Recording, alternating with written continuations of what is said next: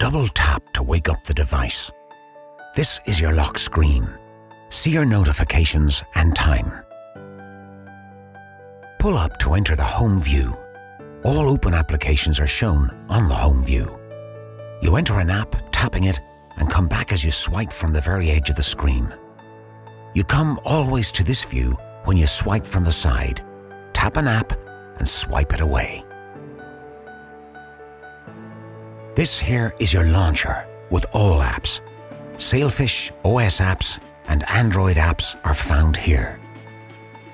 You can rearrange and group apps into folders with a long press. You enter Event Screen by swiping from the very bottom of the screen. Here you can take a look of all notifications you have got like messages, emails, missed phone calls and social media. To navigate back, swipe once again from the bottom of the screen upwards and you will get back to the home